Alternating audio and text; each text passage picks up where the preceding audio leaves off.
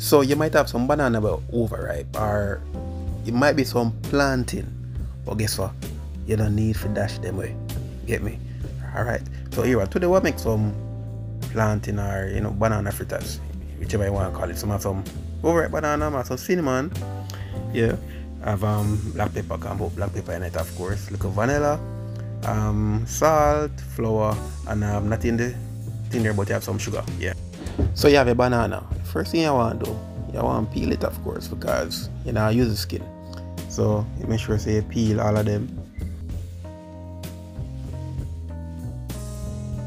The next step is really to you know get everything cut up and um you know mash out so you can get in flour mix up and thing yeah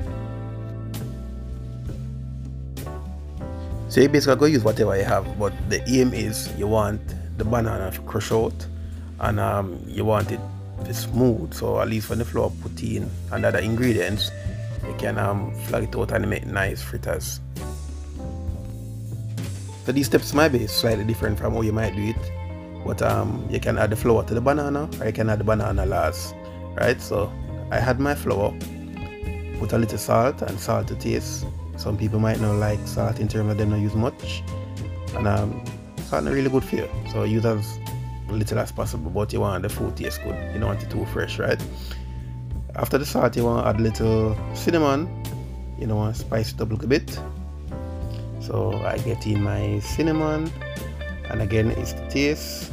I don't think too much cinnamon not kill it still, but yeah, you don't want too much.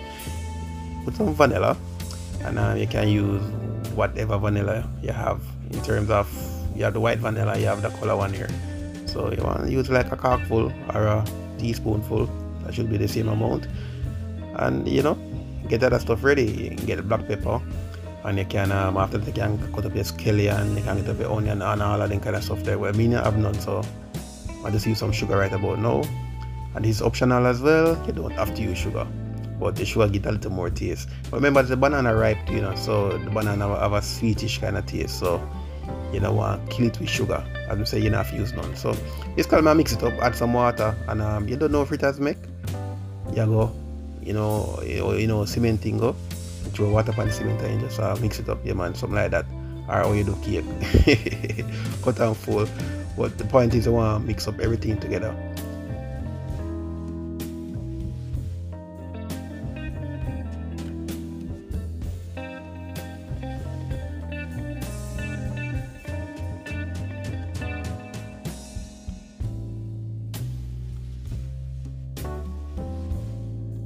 So once you fix everything nice enough, you can um, get it ready. See there? You want this look like it nice enough. I um, can show another part. So next step is you'll get your oil throw in on the pot and you have to ensure say the oil hot. Because if the oil not hot, you don't know say the fritters are gonna suck up all of the oil. Yeah man, so get enough oil in there. You don't want too much, you don't want too, too little. Get the right amount and get it well hot and you throw in your, your butter. Right, so fritters one day.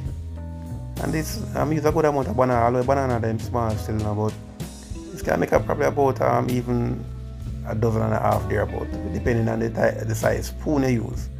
Yeah, but see me there. Fritters then gone right in. Yeah man, I want to say it smell good is a shame. Boy, if you boy I'm tell you so YouTube choose to can say no smell. Alright, so Watch it, watch it fritters in a guess what? It's come like a plantain in a man. The flame can't too high. Cause I just turn your back, you know what gonna happen. Then burn up, yeah. So this should, this is nice enough. And see there, done. Nothing, nothing, no time at all. This can be eaten with a lot of stuff. Yes, I saw sister and brethren. Thank you for watching. And guess what? Kindly remember to like, and if you're not subscribe, it just you know just do that thing there. Subscribe and kindly share. Thank you very much. Love and respect.